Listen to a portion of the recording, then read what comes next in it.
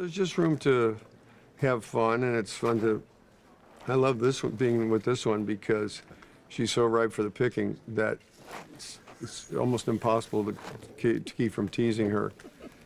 And Ernie has just been very good natured. What's really kind of cool is we're with a, a new generation.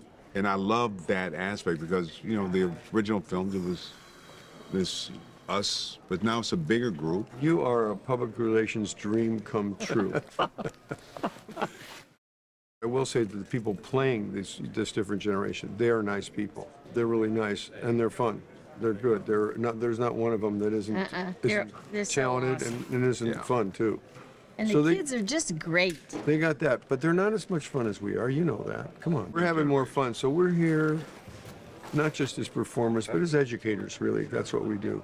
We have a bunch of funny people, and uh, the writing is funny, and, you know, it's a funny situation. You know, we're, we're dealing with the paranormal, and uh, we're doing it well, successfully. And it's, a, and it's a growing financial enterprise. Funny and scary. It's a great combo.